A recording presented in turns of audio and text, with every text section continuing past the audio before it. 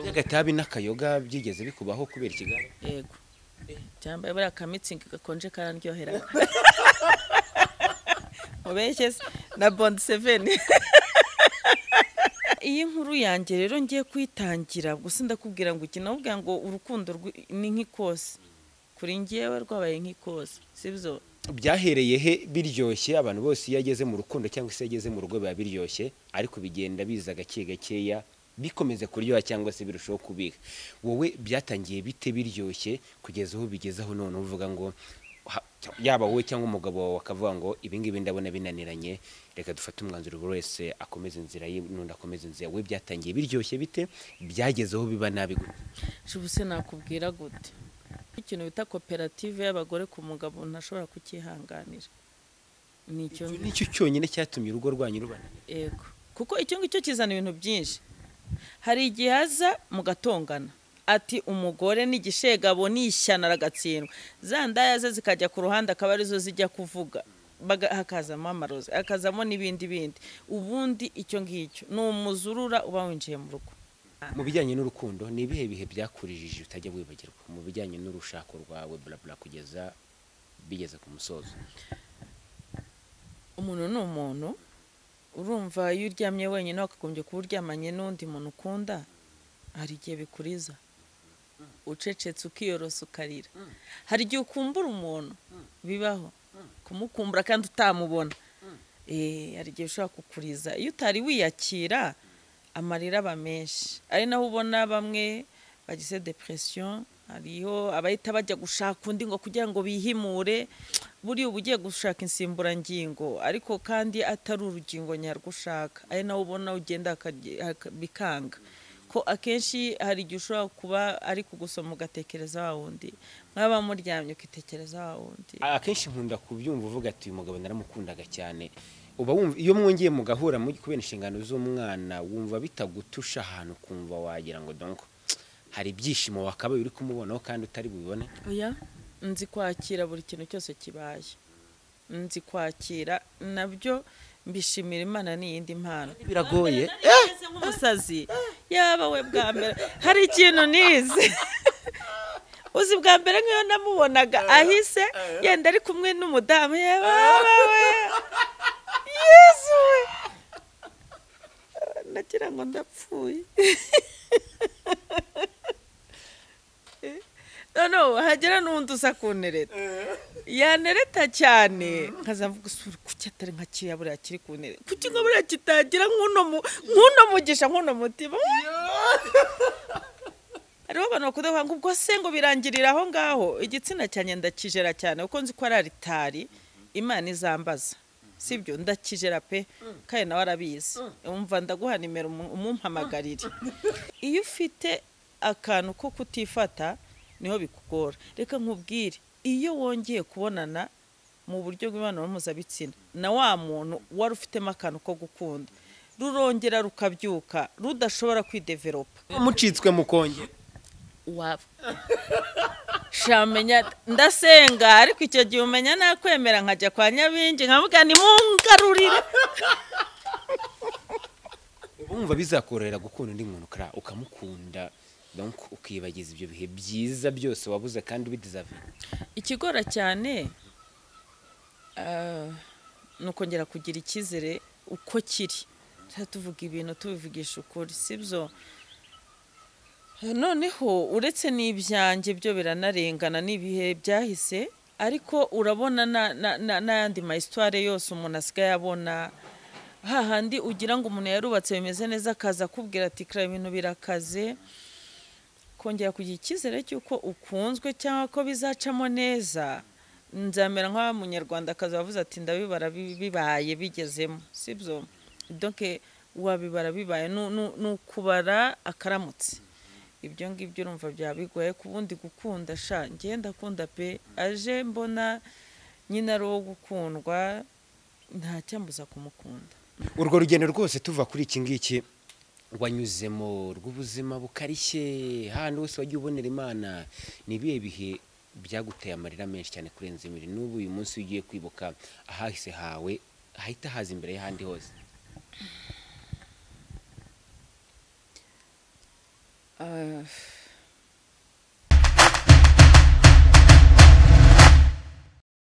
Oh yeah, kasi episode niko nitwa reka nizere ko umeze neza cyane uko ikiganiro bya Max TV wherever you are. Twizere ko umeze neza. Nimba utameze neza reka nkwifurize kwihangana no gukomera. Birashoboka yuko ubuzima butameze neza kano kanya kuri iki kiganiro ariko reka nkwifurize gutera intambwe ya mbere yo kwihangana nyine kugira ngo ubone gushaka ibisubizo. Turi mu rugo eh, kwa Karara twamusuye. Muri ino minsi ni umwe mu bantu bakunzwe cyane ni umukinnyi wa filime ni umunyamakuru ni umukirisitu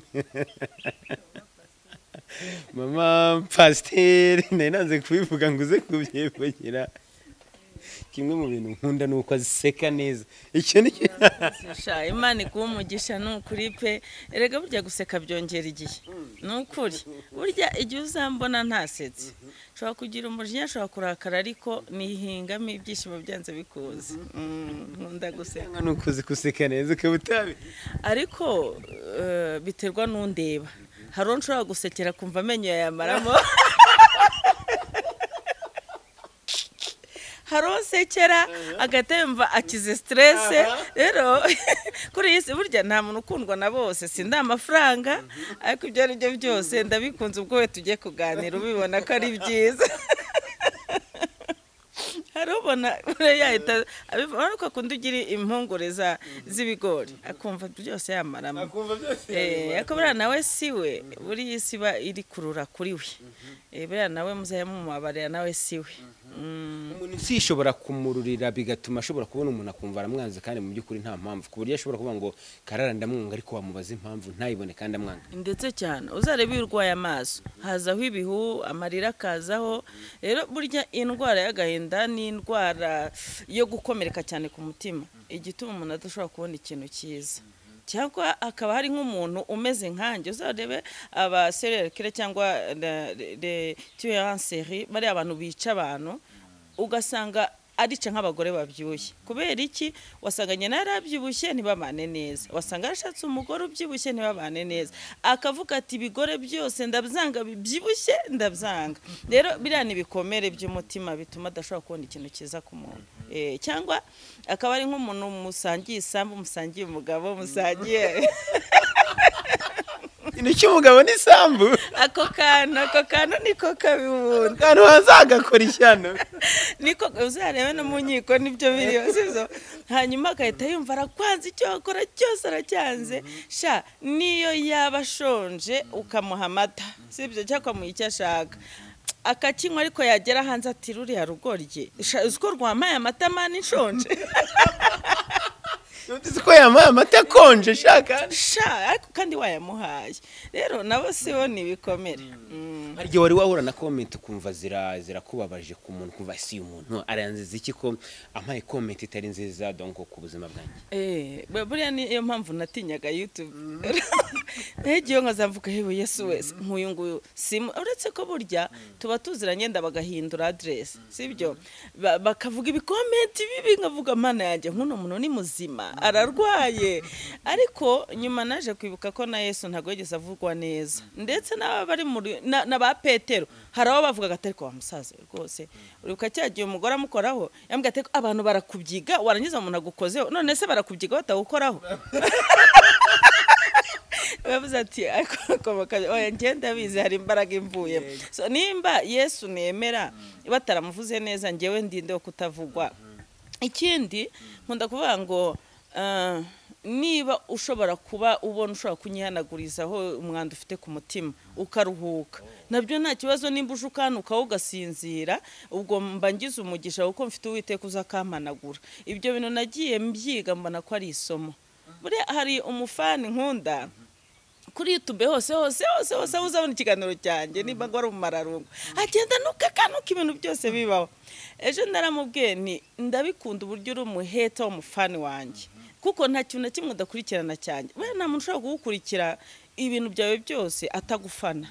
Rero ndabikunda na komenti ushyiraho binyereka yuko uri umufani wanjye.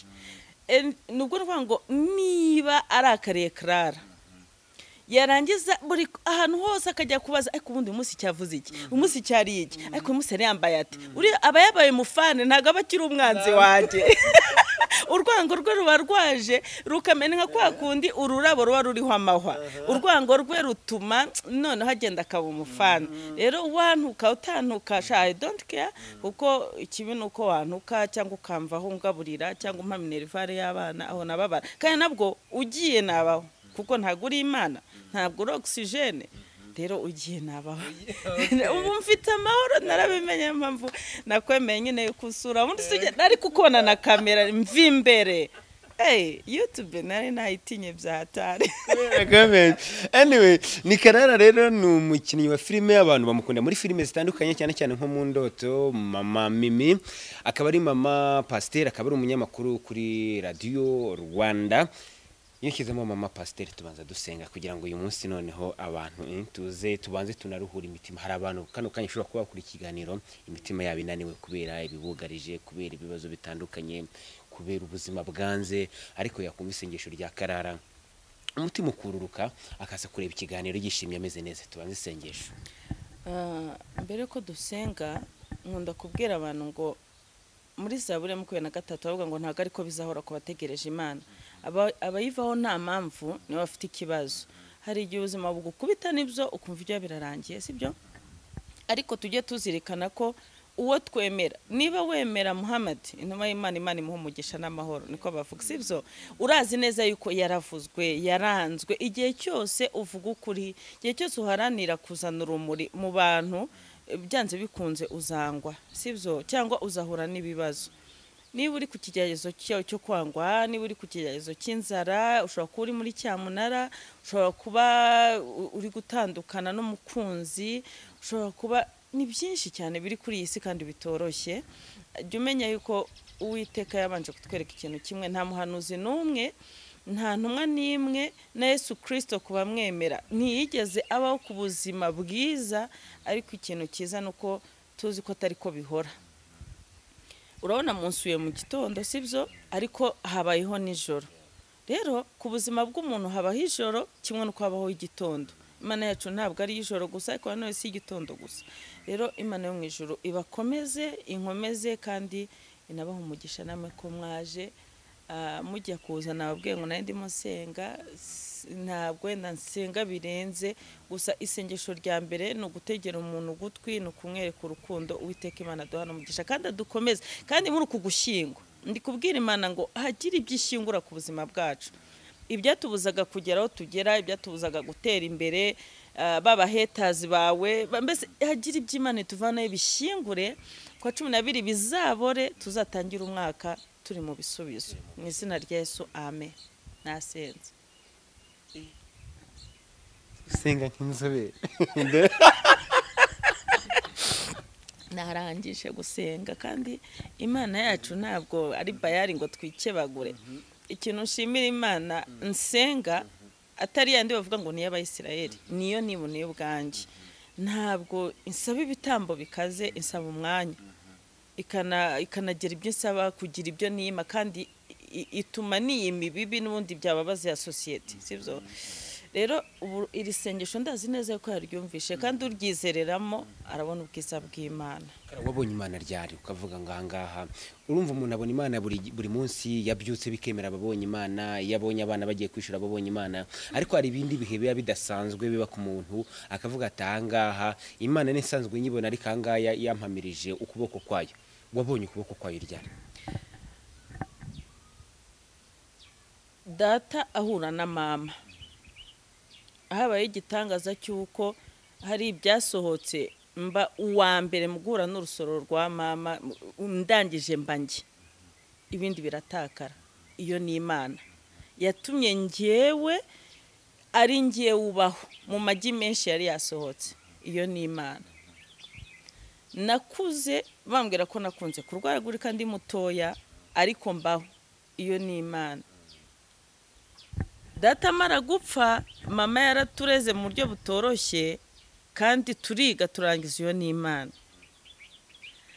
nashoboye gushaka nigera urugo ndabyara. Umugabo agiye nageze ngo ubuzima burarangiye. Ariko mbona imana iramfasha. Inyura mu bikomeye bitoroshye ariko mbona imana sibyo? Umwana arakura ndongera mbyaro wa kabiri mu buryo bukomeye bambwiye ko ndwaye kanseri. Ndakira umwana abaho bari bambwiye ko atazabaho iyo ni imana nabonye. Abantu bakamvaho n'imiryango ikamvaho. Ariko imana ikandemera abandi iyo ni imana nabonye sibyo mbaho igihe nakora kandi narize. Byonyine no kwiga na byo ni imana kuko nabwo nize mu ntambara zitoroshye. Mbona akazi. Navuga abantu bakumva. Iyo ni imana. Sibyo? No kuba nicaye hano. Aha hantu urabona ni habi. Ku mudamu uri wenyine muri kigali urera abana. Komere- komeretsa abantu bakomera wibeshye ahantu ko ndibuhereke abantu ko bari bwumve wibeshye wibeshye. Ariko barahaze ni we kuko mu ndoto turahakinira. Niho iwabo wa kandera Mm, ariko rero iyo ni imana nshuti yanjye. Sibyo? Simbisambanira sinjya kwiba sinesikoroka mbaho kubera imana. Rero byonyine no kuba twahuye nabwo. Urazi abanyarwanda benshi benshi ukuntu ari benshi washobora kuba wari gutekereza uti reka mfate undi. Ariko burya imana iguhuza n'umuntu w'umumaro kandi niko dukunda gusenga. Nayo ni imana. Doke imana nyibona partu hose. Buriya niyo ugiye kuri tuwarete bikemera. Ngewe nabaye mu- ndembe cyane ukabona umuntu bamusatuye hano kugira ngo umwanda usohokeremo. Akagenda abyitwaje ari umuntu reba ukuntu uri umusore mwiza. Reba ugiye witwaje igishashi kirimo imyanda yawe sibyo?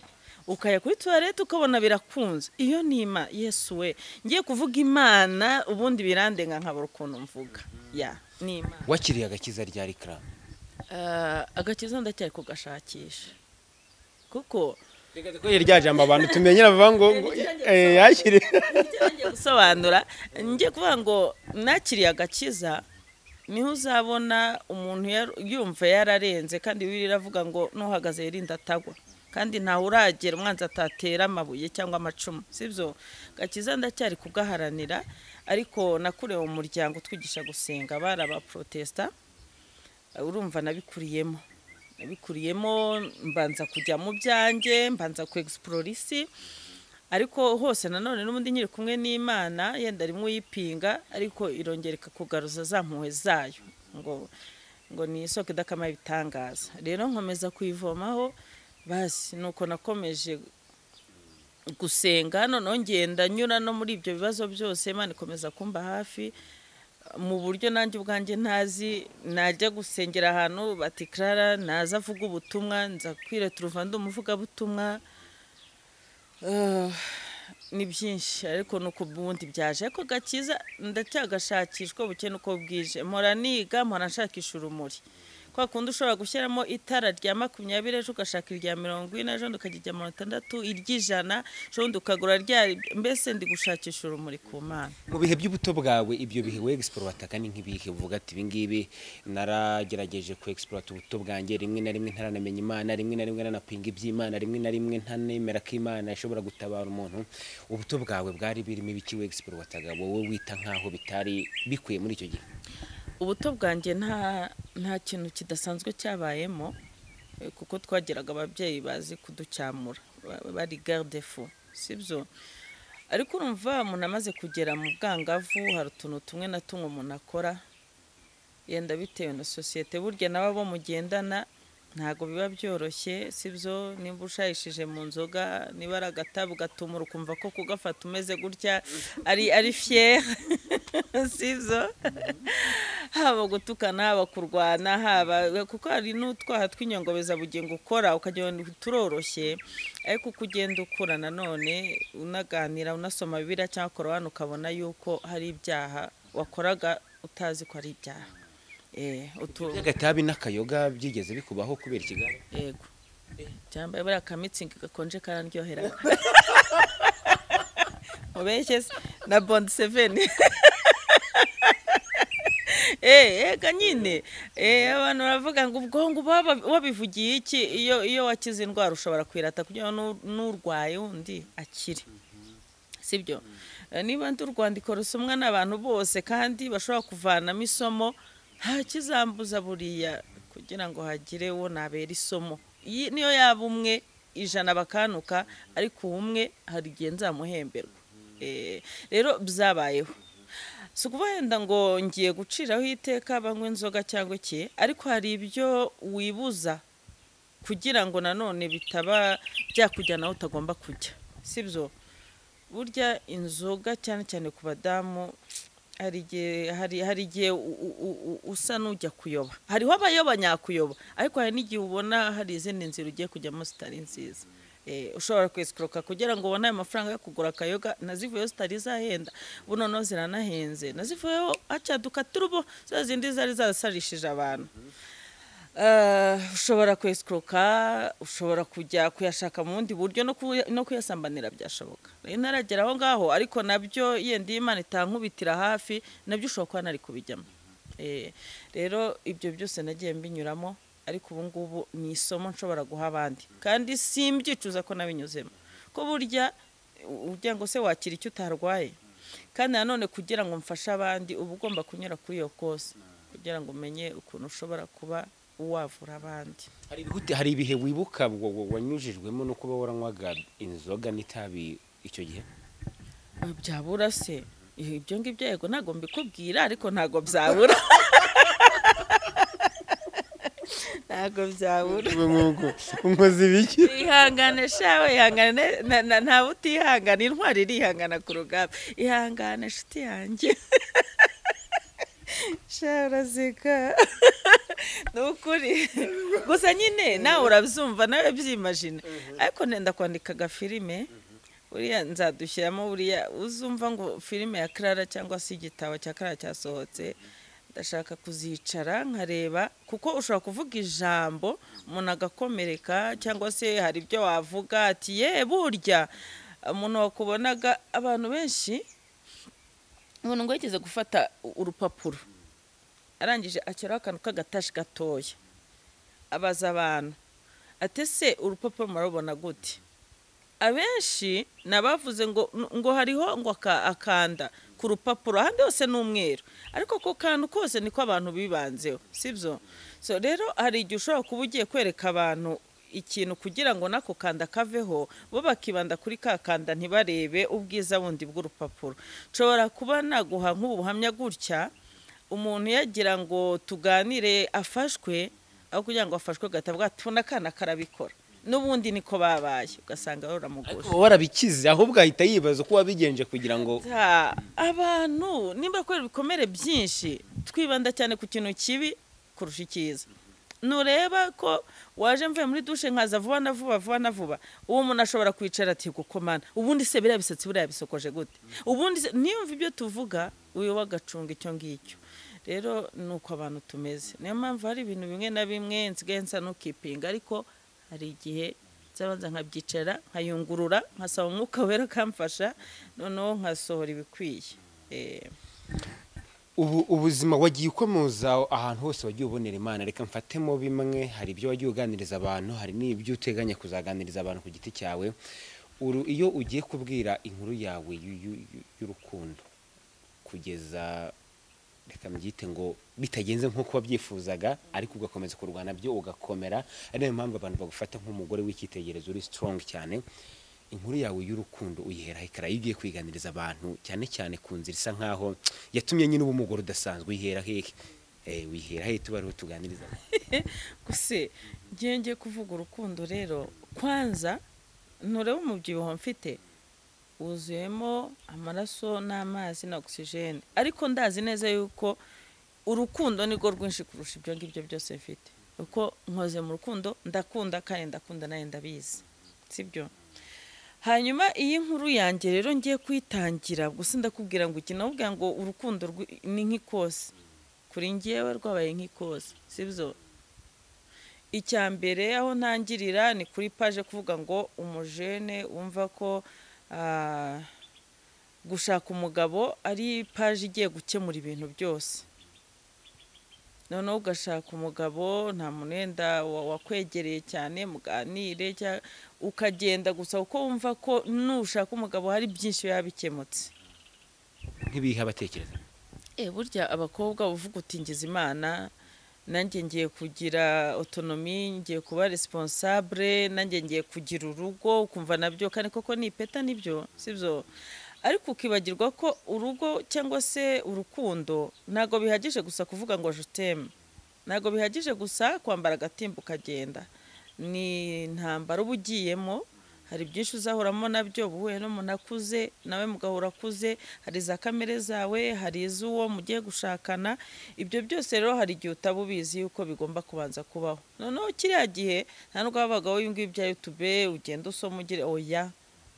Wabaga ugiye wabaga ufite imana ukagira uwabikuganiriza sava ariko nabonaga uburyo ahandi hose ari byiza nkavuga nubwo nanjye ni poha Eh, hakaba hari ibyo ntashobora kwihanganira mu rugo hakaba hari ibyo umugabo adashobora kwihanganira. Eh, tubona ko bidahuye tudashobora guhuza turatandukana.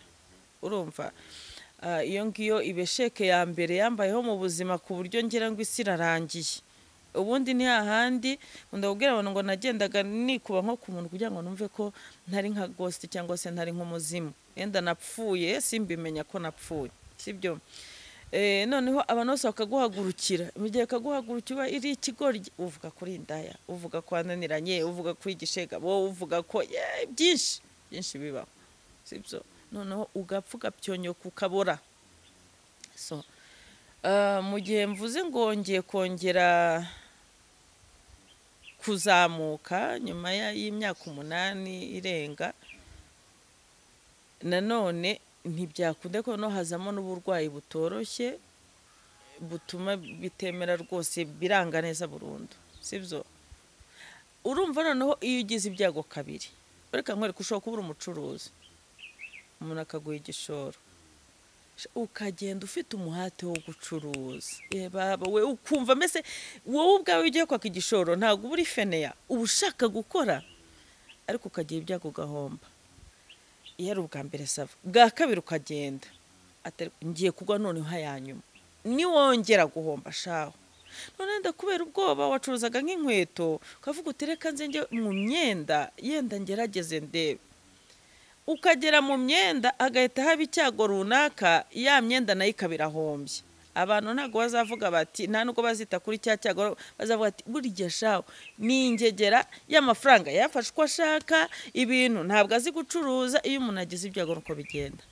Gusa eh, ubwo ni urugero ndi kuvugiramo kuko n'ibindi ntabwo byakunze. Icyo nzi ni kimwe.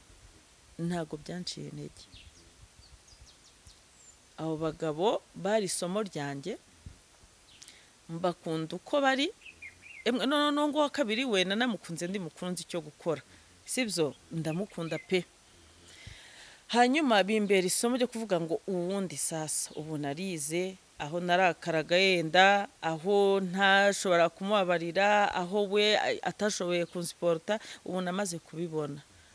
Undi nzaba narize nzaba ntyaye utuzi twa tundi basiga ku nkote ukayityaza bien ubwo nyine ntegereje indi suite a suivre. Ubwo uzabimenya. Ikindi gice cyo tuzakorana ikiganiro. Twicaye mubwire ni eba bya bintu byarakunze. Mm. kuva rero aho ngaho reka noneho tu wihangane kugarura inyuma gato cyane ariko ntabwo turi buze kuhatinda. Ngenda nk'ifi sinyasubira inyuma. Kata rero.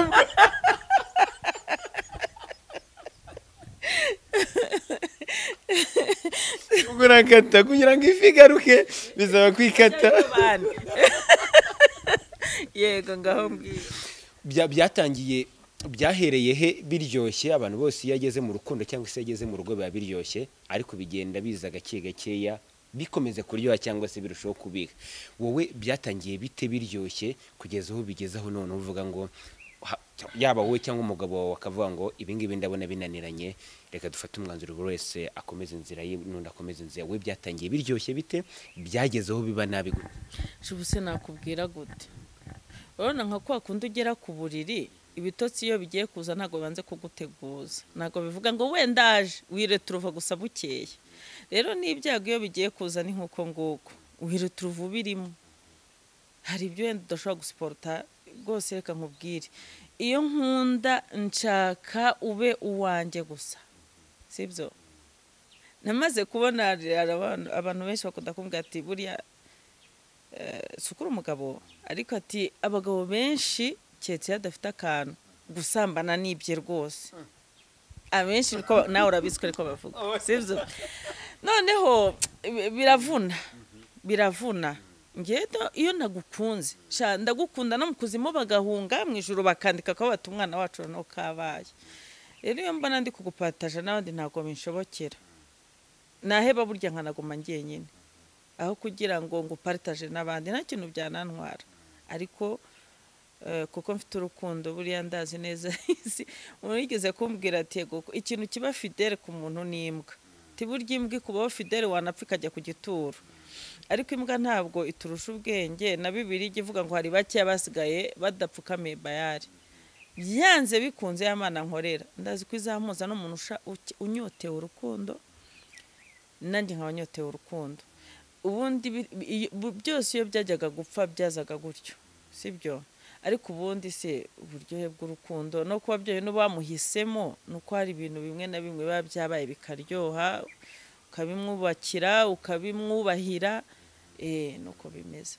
Uretse kugira ngo rero eh, n'abantu badukurikiye bagukunda n'abakunda Max TV baze kugira na bisomo bavanamo wenda ejo bazavuga ati karara yagize neza cyane kunganiriza hari ikintu nakuyemo mwebwe ni ibiki ibintu bya byananiranye mu by'ukuri? Byanakuzonze. Iyo utekereje iyo relationship yawe itaragenze neza nk'uko wabyifuzaga bijya bikugaruka mu mutwe uvuga ngo nanyuze muri ibi kugeza umunsi wa nyuma ntandukanye n'umugabo twabana.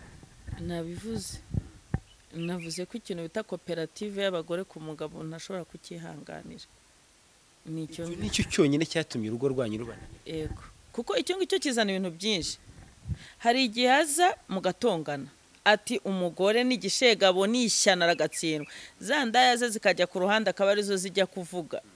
Hakazamo amarozi hakazamo n'ibindi bindi. Ubundi icyo ngicyo ni umuzurura uba winjiye mu rugo. Haba umugore usambana haba umugabo asambana niyo wabikora wihishe bizagera mu bana bizagera mu muryango bizagera muri sosiyete biba byapfuye Eh, icyo cyonyine. Byashamikiyeho ibiki wowe byakurikiyeho ibiki nyuma y'uko umugabo wawe agiye mu bandi bagore? Ibindi bigeragezo wahise uhura na byo kubera umugabo wawe yagiye mu bagore u- ejo uzarebe kuri komenti nuyishyiraho. Uzarebe indaya zizandikaho nyinshi. Ni iziba zaranyuze muri ibyo ngibyo. Izigutuka iza- zitazifuza yuko utera imbere. Si n'ibyo. Ababa bamushyigikiye abatamushyigikiye abakubwira n'ubundi ubwo se ubundi ninde wagukunda? Ibiga ni ibintu byinshi. Ni ibintu byinshi ni ibintu byinshi. Ubu ahangaha hari amazirantoki icya mbere no kuhareba hatera iseseme. Icya kabiri haranuka. Icya gatatu haza amasazi. Rero ni kimwe n'iyo icyo iyo ubusambanyi bwinjiye mu rugo. Haza ibintu byose bibi bishoboka. Nicyo kintu cyonyine nabonye gisenya urugo kandi rukaba nabi. Ejo wowe se ngubu bose ntabwo babayeho basambana. Nkora ibiganiro bihuza imiryango urabizi. Nta mana yanjye nta n'ikindi uwakigiswe na benshi ntamenya uwamusekeje. Ikindi uko wakora kose ntabwo ashobora kunyurwa. Haba umugore wagiye gusambana haba umugabo wagiye gusambana. Hazaho noneho n'ikibazo cy'amafaranga. Urumva nimba agiye kuyajyana ahangaha hazaho kubeshyana. Sibyo? Ni ni byinshi bibi. Si ke- keretse keretse ari cyo kiganiro cyonyine tugiye gukora. Ariko ubundi ni cyo kintu nize ko gisenya urugo. Mm. noneho twa tundi twose tugiye dushamikiyeho bigatuma icyanga cy'urukundo gishira bikarangira burundu. Uba wumva bishoboka yuko ushobora kuza hari umugore runa kano kanya ukurikiye ikiganiro nawe uri guhura n'ikibazo nk'icyo cy'umugabo abizi ko ari kumuca inyuma. Ariko akaba ahura na ya magambo avuga ngo niko zubakwa abagabo bose niko bameze nubwo atari bose cyangwa se abenshi niko bameze. Uwo nguwo ukurikiye ikiganiro kano kanya afite ikibazo cy'umugabo abizi neza ko ari kumuca inyuma. Kara wamugiriye inama mu by'ukuri. Abikoze ugashobora kubyihanganira nta kibazo. Ushobora kubyihanganira nta kibazo rwose. Ko n'ubundi gusenya ni ikintu kigora. Kuba igishubaziko ni ikintu kigora. Ni bibi. Na nyoko na so ntabwo bashobora kugushyigikira. Sibyo bishoboye kuba kwihangana sava. Ariko buriya abantu dufata ibintu ku buryo butandukanye. Nshobora kuba ndwaye umutwe ndembye nkaza tugakorana ikiganiro. Ariko hari undi urwara umutwe akajya mu buriri akagira ngo yahajemo na kovide na sima na kanseri n'impyiko byose. Sibyo rero abantu ntabwo twakira ibintu kimwe. Abishoboye arashobora kwihangana. Ubundi ikindi ni ukubisengera. Gusenga usaba kwihangana. Nkunda kubabwira ngo ngewe nkunda gusenga nsaba uburyohe bw'umuntu. Ko uburyo yaryoheye umuntu uzarebe n'abagiye akugarukaho. Ati umva hari unanyweraga nabuze.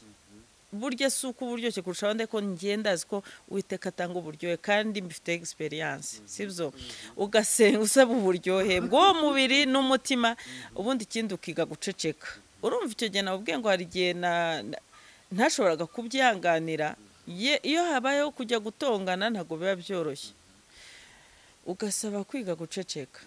Nayo ni indi egisperiyanse ushobora kuba nakwigisha umuntu kwiga guceceka. Ariko siko bavuga ko umugore uceceka ko aba ari mubi cyane kurushaho na byo birasekeje. Ubwo nigaga guceceka ahubwo bavuze ati ari kwiga uburyo azanyica tu Eh?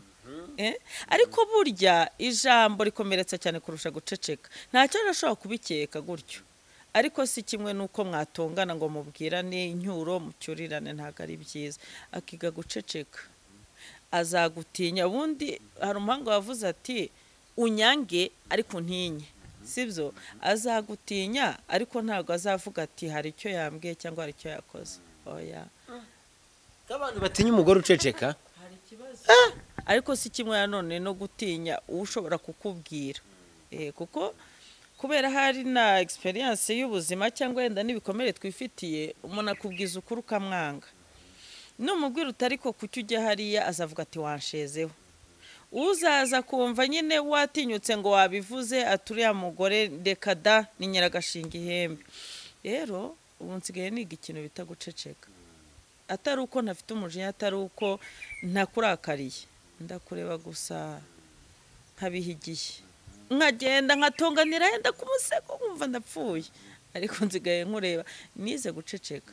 Ubundi bwa mbere byo ushobora kumbabaza nkahita nkubwiriraho aho. Nsigaye nkureba nkabona urasekeje nakwihorera ubuzima bugakomeza. Rero ni ikintu kandi nabonye gitanga amahoro eh, babyige. Ntiwarumbajije se ngo inama nabaha? Iyo ngiyo niyo nabaha Wa- wamaze igihe kingana iki uhura n'uburibwe bw'urugokara ukavuga ati iyi myaka ndumva ariyo nafunze nta byishimo mperuka mu rugo rwanjye. Gusa ndakubwira ngo iki? Nakubwiye ngo ni ibintu biza nk'ibitotsi. Kandi nanone hari ikintu ngewe nzi ko ngira. Ntabwo nkunda gutinda cyane ku kibi. No mu bibi ngerageza kuba nakipinga akantu gatoya gashobora kunzanira ibyishimo. Kuko burya guhora ubabaye biravuna nshuti biravuna. Rero no muri icyo gihe cyose nagerageza gushaka ikintu gishobora kuba cyanezeza. Ntabwo nabwo ngo ni imyaka runaka ko n'ubwo ndacyababaye iyo ubona umwana ashobora gukumbura se adashobora guhita amubona safemari birababaza sibyo rero ni- ubuzima ni ubuzima ariko eh, niyo mpamvu namye nkubwira ngo n'agakiza umuntu aragashakisha. N'urumuri n'ibyishimo umuntu abishakisha buri munsi. Iyo ha- hari abandi bantu kano kanya bashobora kuba bafite icyo kibazo. Iyo umwana akubajije akubwiye ko akumbuye papa we ashaka kumureba ashaka ko bahura ashaka ko basangira ukaba uzi ko bitashobora guhita bikorohera. Umwana ubigenza gutya kugira ngo ukipinge umunezero we? Telefone. Muha telefone bakavugana. Mm. telefone bakavugana byashoboka nyine igihe yazabonera akanya umwana akagenda akamureba. Eh, kuko umwana ntabwo yahisemo avuka nta nubwo yahisemo ko avuka gutyo umuha umwanya rero. Kuko nawe aba akeneye kumenya ko ari papa we nubwo nazashaka undi cyangwa nawe yashaka undi mudamu ariko umwana arazi neza peri biyologike meri biyologike sibyo rero uramurika akajya kumureba. Biriya- byo kuvuga ngo mugeranye bifu umwana ni we cyo kandi uretse ko ngewe nku- nku- nk'uriya mugabo twatandukanye ndamukunda pe. Yenda habayeho igihe cyo cy'intambara cyane. Ariko tur- turumvikana. Iyo umubwiye ni turashobora ko umwana yaza kukureba cyangwa tukaba twaganira turaganira. Hari ibitarakunze ariko ni umuvandimwe ubu ni inshuti. Yaranzi bihagije nawe muzi bihagije ni inshuti. Rero nta cyabuza umwana kujya kumureba. Kuba kuba um- akenshi nkunda kubyumva uvuga ati uyu mugabo naramukundaga cyane. Uba wumva iyo mwongeye mugahura mu kubera inshingano z'umwana wumva bitagutusha ahantu kumva wagira ngo donc hari ibyishimo wakabaye uri kumubonaho kandi utari bubibone. Oya nzi kwakira buri kintu cyose kibaye. Nzi kwakira na byo mbishimira imana n'iyindi mpano. Biragoye. Nk'umusazi. Yaba we bwa mbere. Hari ikintu nize. Uzi bwa mbere nk'iyo namubonaga. Ahise yenda ari kumwe n'umudamu yaba we. Yesu we. Nagira ngo ndapfuye. Noneho hagera n'undi uza kuntereta. Yanereta cyane. Nkaza mvuga usura kuki atari nka kiriya buriya kiri kuntereta? Kuki ngo buriya kitagira nk'uno mugisha nk'uno mutima? ariko nyine ubu rwose mfite amahoro adasanzwe. Ahubwo icyo yakoze cyiza nyine ni uko ubu ngubu tuvugana ni ho byagiye bishira. Nawe ubundi kubaho tutavugana ni cyo cyanyicaga. Ariko ubu ngubu turaganira tukanabiteramo n'ibiparu bimwe na bimwe. Ariko uribuka akanaka rimwe tukibuka ibya kera. Hariho abantu bakunda kuvuga ngo ubwo se ngo birangirira aho ngaho. Igitsina cyanjye ndakijera cyane kuko nzi ko ari aritari. Imana izambaza. Sibyo? Ndakijera pe. Kandi nawe arabizi. Umva ndaguha nimero umu- umumpamagarire. Rero reka nkubwire ngo byaramfashije ko nshobora kumubwira nturazi ndarwaye. Nkeneye nk'amafaranga runaka. Sinzajya kuyasamanira sinzajya hano nzabimubwira. Iyo afite arayama. Iyo atafite ntayama. Umwana ko ashaka kuza kukureba. Umutegere moto kandi ntayo mutegera. Araza. Donc aranze uko ameze turaganira bisanzwe ari mu buzima bwe nubaha. Nanjye ni mu buzima bwanjye nubaha. Kandi birashoboka cyane. Ni na cyo njye ubundi bwa mbere nafuhiraga nk'abazungu. Ubundi ni iki kintu gishobora gutuma umuntu atandukana n'uwundi buri gihe bikaba nk'aho ari nka shitani n'imana. Nkumva ndabafuhiye ariko namaze kubona ko ari ibintu bishoboka. Iyo wabyihinzemo. Iyo ufite akantu ko kutifata ni ho bikugora. Reka nkubwire iyo wongeye kubonana mu buryo bw'imibonano mpuzabitsina na wa muntu wari ufitemo akantu ko gukunda. Rurongera rukabyuka rudashobora kwideveropa ukongera ukaba deprime ukongera ukarwara byasaze. Ariko iyo muganira nk'uku nguku wowe waje ukansura turi abajama sibyo uri umuntu wanjye nawe ndi uwawe. Tukaganira ejo dushobora kuba twatonganye uyu munsi twahura tukanywa icyayi. N'umugati urimo avoka tukirira. Biriya bintu ni byiza. Mwebwe ubwanyu ibikomere byanyu bigenda bishira. Eh, mucitswe mukongera waba shamenya ndasenga ariko icyo gihe umenya nakwemera nkajya kwa nyabingi nkavuga ni mungarurire. Shawareka. Wongeye gato. Ayiwa yesu we. Erega biriya muba mwabaye umwe. Ndoke uba wongeye ukongera ugakurura bya bindi biri bihandi ukongera ukabizana. Ukongera ukaryama udasinziriye wamushaka ntumubona ari kumwe n'umugore we cyangwa ndebe yagushaka ntakubone nawe uri mu byawe mukongera rwa rwango rukagaruka. Burya iyo mwashakanye ntimubonane umwe atangira gufuha undi agatangira kwimajina ibintu he n'ubundi cyaranyanze bya bindi bikongera bikagaruka. Rero irinda ikintu icyo ari cyo cyose gishobora gutuma mwongera gusubira kuri kuri ya paje y'umukara. Mwigumire mu mucyo semiye urwo rugendo rwose tuva kuri iki ngiki wanyuzemo rw'ubuzima bukarishye. Handi wose wagiye ubonera imana. Ni ibihe bihe byaguteye amarira menshi cyane kurenza imibiri n'ubu uyu munsi ugiye kwibuka ahahise hawe hahita haza imbere y'ahandi hose. Ah, gusa ndavuga ibihe. Urumva gutandukana n'umuntu ukunda ni ibintu bigoye. Igihe abana bigeze kubaho bafite inzara ikintu cyangoye ikintu ariko cyakomeje kubaho kitari cyoroshye n'uburwayi. Eh, uburwayi ntabwo byari byoroshye. Kunze kugira ibibazo ukirutse ibyo ngibyo hajemo covid inshuro ebyiri abana twese turarwaye ni ibintu biteza umudugararo mu rugo. Eh, uburwayi urebye ni bwo numva bujya bundemerera. Nanatinya. Narwara ariko simbona abana banjye barwaye. Ndanabi sinzi impamvu ariko ndabitinya n'imana irabizi ko mbitinya. Ni icyo cyonyine. Ikindi ikigeze kuntera amarira. Eh, kutabona sapoti ku- kukumva hafi umuryango. Wo- w'umugabo cyangwa wawe uw'umugabo ko baba barambonye se nihitira nk'umugenzi. Eh, eh, ariko aho nabwo bishobokeye na byo bya- byaranejeje. Ndumva icyo utakwanga sapoti icyo gihe. Ibyo tubyihorere eh, batavuga ngo nagiye kubavuga reka tubihorere. Ibyo ni ni ku izina interne ni byo mu muryango nyine. Mm, eh, buriya ariko nyine iyo umuntu wawe yagize ikibazo ntabwo biba byoroshye. Eh, buriya nabo uretse ko na byo nta kibazo. Imana yagira ngo nyereke ko ntanafite umuryango ngiye nshobora kubaho. Ntacyo bitwaye. Eh, ariko ndumva genda mu buryo bwihuse keretse ninza kwicara nkabitekereza ariko ibyihuse ni ibyo. Ah. mu bijyanye n'urukundo ni ibihe bihe byakurijije utajya wibagirwa? Mu bijyanye n'urushako rwawe burabura kugeza bigeze ku musozo.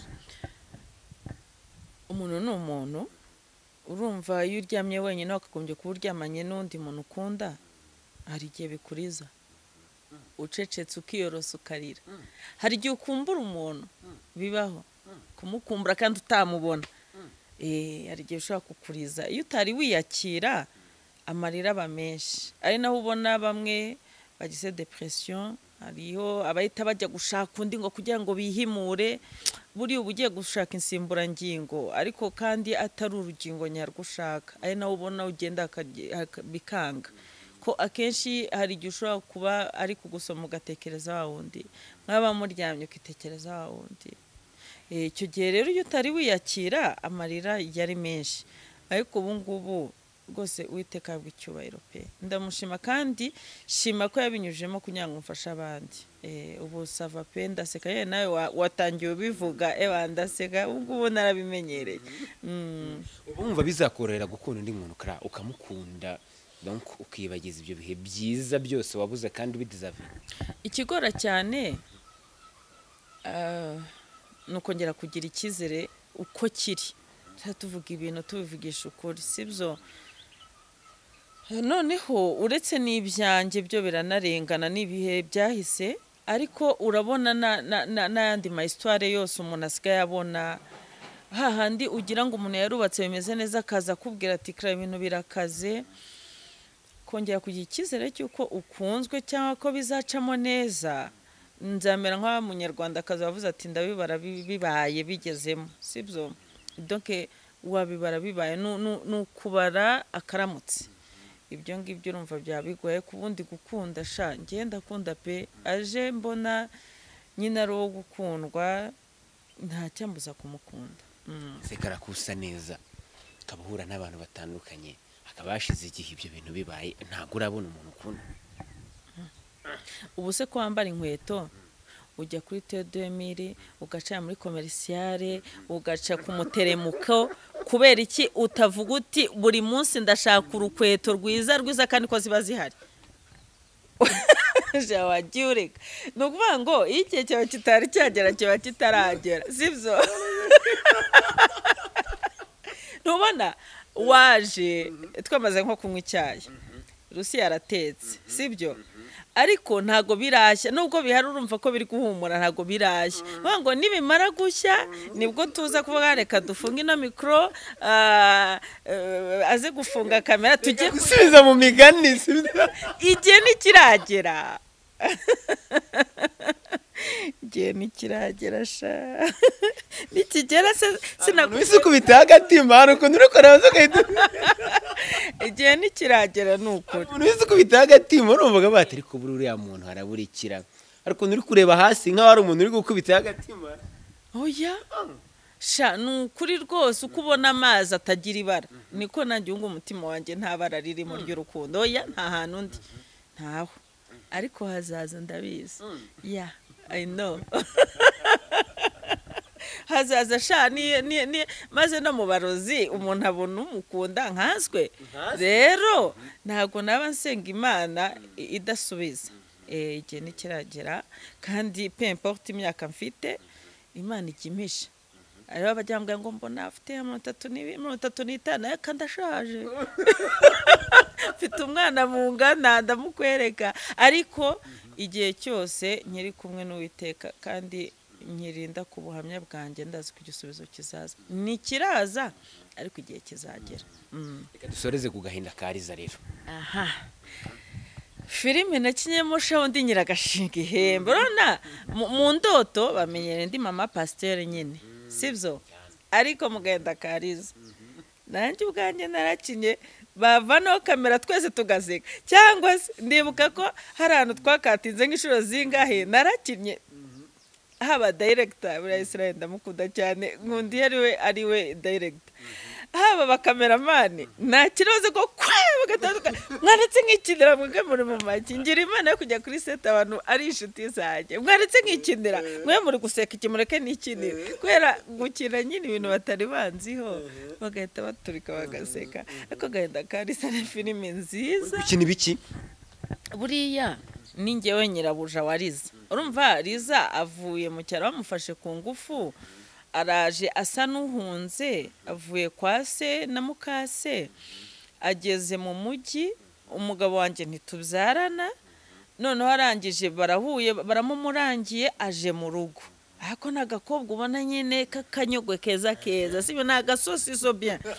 Arangije araje ngiye kubona mara atangiye ku- atangiye gutera ikiro. Ari kuruka. Mujyanye kwa muganga nsanga aratwite. Urumva? Wagombaga kugira ngo ni umugabo nyine urabyumva uburyo ngomba kuhashinga ku cy'umugabo twakundanye ambwira ngo asanyihanganira? Akaba yagiye kubyara ahandi. Ese noneho akananzanira ihabara mu rugo? Urumva nyine ngomba kubikina ku buryo n'uzambona azanyanga eh agahinda kariza imvi none se wamugana bikubayeho mu buzima busanzwe ugashaka umugabo donc hari undi muntu nawe biri kubaho nonaha muba muri gukina ibiriho umugore akanga kubyara. Umugabo amusabye ko yabyara ku ruhande. Ni ikibazo? Iki kibazo ni nkigusubiza nk'umukristo. Ni ikibazo. Ko niba mwaremeye gusangira akabisi n'agahiye. Uba ugomba kwihangana ko nawe hari byinshi ushobora kuba kwihanganira ushobora kuba urangiza vuba umugore akakwihanganira ushobora kuba uzaba wasinze umugore akakwihanganira ushobora kuba hari ubumuga runaka ubana na- ufite umugore akakwihanganira. Ikindi kandi kuba mutabyara hari n'igihe buri gihe atabara umugore gusa. Sinzi impamvu sosiyete iteka kandi ku isi yose uzare no mu mafilime za brezil n'ayo hose bahita babishyira ku mugore. Kandi hari n'igihe aba ari umugabo. Rero kutihanganirana nkurikije imyemerere ni ikindi kibazo. Sibyo? Ntabwo ari byo. Ariko mwe bwonyine mwiyumvikaniye mukavuga muti hari ukuntu bigiye kugenda ni ibyo nyine. Ni ibyo ariko nanone ikintu ntemera. Urabyaye. Wari washakanye nda n'umugore hariho n'abagore baca ku ruhande bakishakira akana akabyitirira umugabo. Numvise umugabo wareze abana hakaba agisida bikaba ngombwa ko hari ibintu by'amaraso bajya gutanga akaza kumenya ko nta mwana n'umwe wiwe urimo. Urumva safemara? Ariko reka nkubwire ngo ubikoze ariko ukanyubaha ukibuka ko twabyaranye reka burya ikintu kibi ni cyo nahuye cy'ubusambanyi kibaho. Ubikoze ntubinyereke. Cyangwa wanabinyereke ukanyubaha uzare nk'abayisilamu burya muri isilamu nawe se ndeba shehe ari kubivuga niba uzi ko ushatse abagore barenga babiri ntububahe. Ntubafate nk'abagore bawe. Ni icyaha. Bireke. Sibyo? Rero niba ububashye kimwe wa undi mukuru ukamwubaha umutuje nyine akabyara ni- byiza. Umwubashye nta kibazo. Ariko ntabwo mwabyumvikanye. Ukamuha agaciro. Sibyo? Ukamuha agaciro ngo ntiwumve ko buri kintu cyose na kwa kundi mwagana mbese abaye nk'igitorosho wamaze gukoresha nijoro ukajugunya. Oya birya ntabwo ari byo uba uri kumwica urubozo ahagaze. Ariko umutahiye rimwe ejo ugatahira ku wakubyariye nkundi ya ndirimbo y'abarundi ivuga ngo timbira. Ati uwanze are kwa nyina. sibyo biriya harimo agasuzuguro. Ariko ubafashe bose ukajya resiponsabirite nk'umugabo bisanzwe. Ntacyo byaba bitwaye bitewe n'ubwumvikane. Eh, ko nk'ubu ngubu ngiye wambwiye ati rero nabyahandi umwana ni umugisha. Namwakira. Kandi namwakira seriyezima ariko nanone kunyereka ko nabaye icyo ntazi ndi icyo ngicyo kiri aho ngaho tuzajya tuvugishwe n'ubwo waba uri umutagatifu gute? Safemari. Na sara yabwiye aburamu ati vana ishyano hano. Nibwo yagiye. Ibyakurikiye n'ubwo urabona abayisirayeli n'abo muri palestina byose ni ho biva. Niyo mpamvu icyaha kiza ari gito kigakura igihe cyose kigakomeza gikura. Eh, ariko ubundi babyumvikanye basi byaba ari ibyabo Mm. Agenda kariza turagasanga he rero? Agenda kariza kuri youtube kamaze kugeraho. Ushobora kubona ko agenda kariza epizode ya mbere yagezeho. Hanyuma hari n'ahandi turi kudiringa Eh, uwiteka duteye iteka birashobora gukunda. Ku buryo noneho yagera kuri benshi cyane none udashobora yenda kuba bajya kuri youtube. Eh, bishobora kuzakunda. Ariko ibyo reka tube tubiretseho gatoya ariko kuri youtube hiriho. Amaze kujyaho epizode ya mbere wandika agenda kariza ubundi nurangiza ushyiraho komenti ariko nziza. Ewe mw'abantu mwe? Aba we mwagiye mwihangana. Biri kuri youtube channel yitwa gute? Eh, harya buriya ni ni ni tete ni. Si ubundi mwebwe mwazayidushyiriyeho cyo kuba no ku gasaririho. Reka ariko nanjye ndayishyira hano muri comment. Eh hano muri comment barajya bareba ikiganiro bareba na filime vuwara. Wanjye ndakwemera. Na- ubwo- nyine murebe kuri max tv kandi mukande subscribe kandi mukande no kukazogera kandi muze mushyiraho komenti nziza. Ubwo bajya kuri max tv barabibona. Niyo iri buze kubibanza muyirebe muyisangize n'abandi na comment ariko zitari mbi. Karara ntago comment mbi yazishaka wazishaka utazishaka ntabwo zabura. Ariko na byo nta n'icyo binatwaye. Ko icyo ubona giteye iseseme ugisibe. Nzakugurira akantu. Shabareka reka tugane ku musozo karara.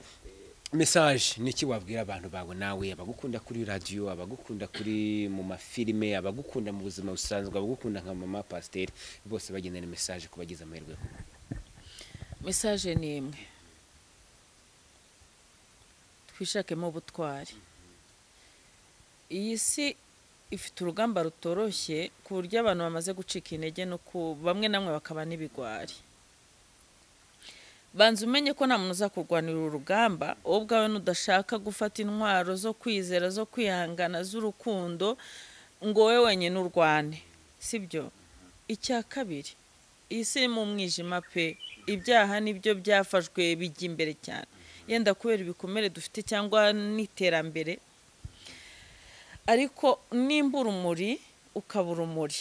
Umuvandimwe akaba urumuri. Harongera hagaragare agacyo kuri iyi si.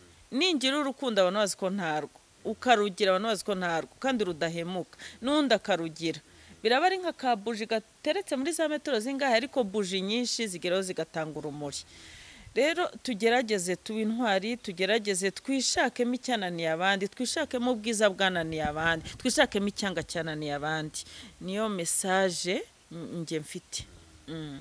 Reka tumushimire cyane rero karara kwemera kuganira natwe murebe filime akahinda kariza iri kuri youtube channel muri buze kubona hano muri comment niyo yibanza. Murajya mureba ikiganiro murebe na filime hanyuma ubwo mujye munamukurikira kuri RBA abantu bafite ingo nyine n'abateganya kujya mu ngo bose.